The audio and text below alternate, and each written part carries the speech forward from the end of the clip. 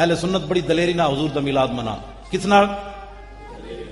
एंज घुट घुट के नहीं एंज करके ये तो सुस्तियाँ की वजह तो मिलाद शरीफ के जलूस से फायरिंग हुई। इंज भी कभी होया यार?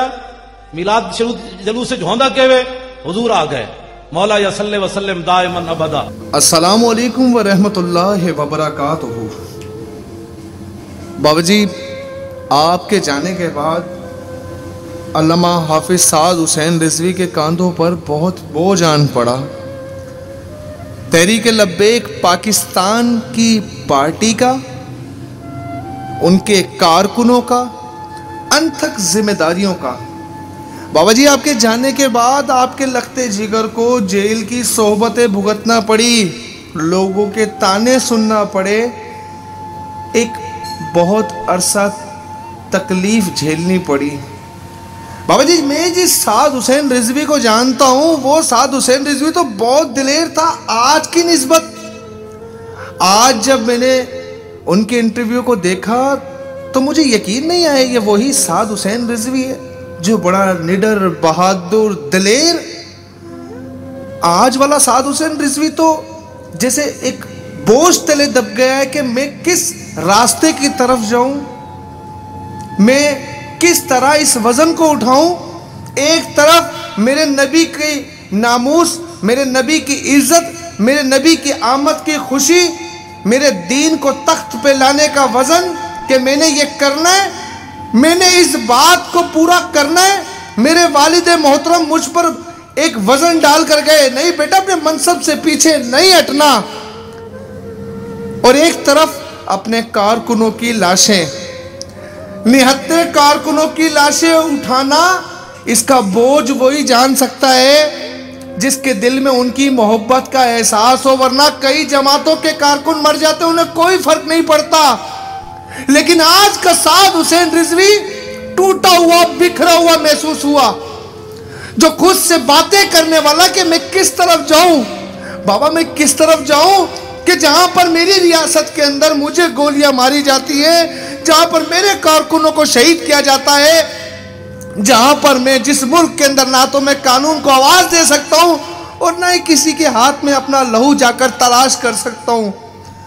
बाबा जी, आज साद हुसैन रिजवी वो नहीं था जो फैजाबाद में शेलों को मुकाबला, गोलियों को मुकाबला कर रहा था।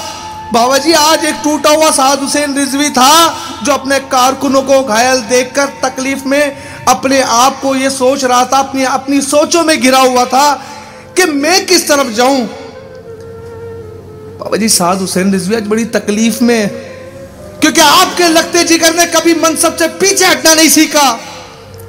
लेकिन बाबा जी, रास्ता भी तो नहीं ना। लड़े किससे? आप भी तो नहीं लड़े ना तो तरबियत भी नहीं की कि अपनों से कैसे लड़े। बाबा जी, अपने लोगों पर किस तरह तो जुल्म सितम जबरो जाती, उनके ऊपर करें।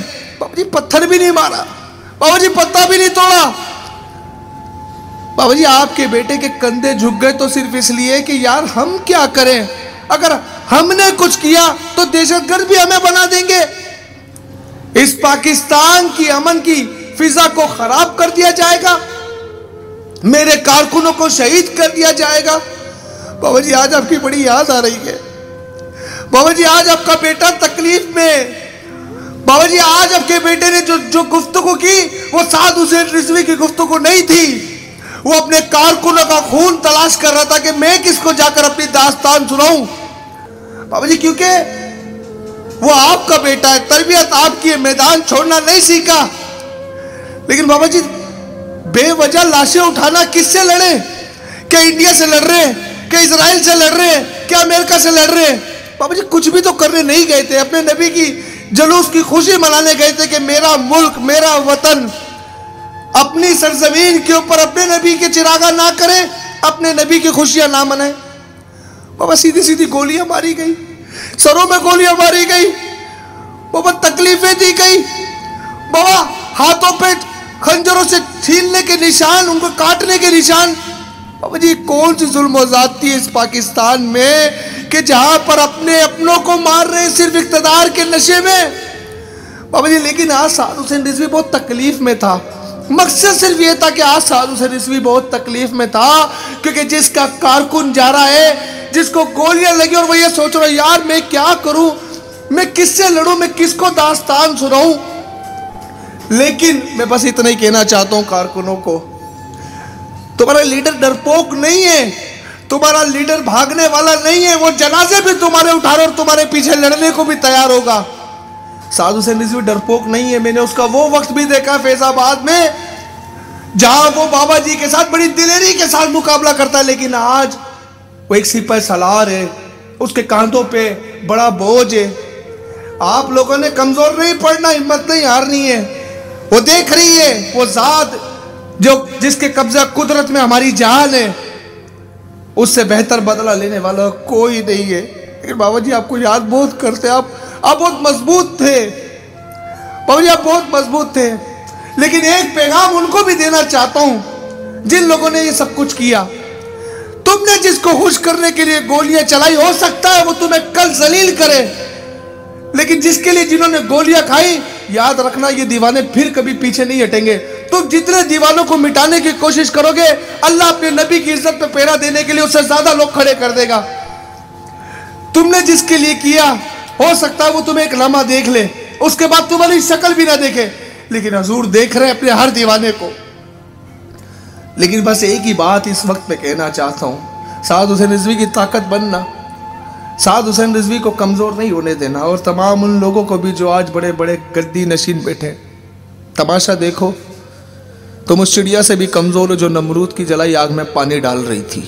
बस, हर उस शख्स के लिए जो मिंबर पे बैठ के हजूर की इज़्ज़त की बात करता है, मिंबर पे बैठ कर हजूर की इज़्ज़त की बात करना और गोलियाँ खाकर हजूर की इज़्ज़त पे दिफा करना और है। तुम उस चिड़िया से भी कमज़ोर हो, जो नमरूद की जलाई आग में पानी का काम कर रही थी। तुम खड़े भी नहीं हो सके। तुम खड़े भी नहीं हो सके। उनका बाप चला गया। उस यतीम के सर पर खड़े भी नहीं हो हम तुम्हारे साथ हैं। खैर, अल्लाह और उसका रसूल उनके साथ ज़रूर है। असलकम वरहमतुल्लाहि वबरकातुहू।